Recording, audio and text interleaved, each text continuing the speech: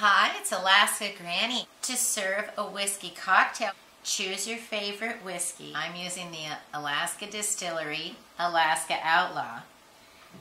And you want larger size ice so that it chills it but doesn't dilute it if you like it on the rocks.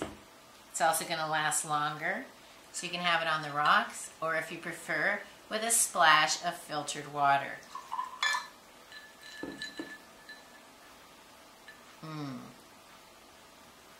Learn more at alaskagranny.com and please subscribe to the Alaska Granny channel.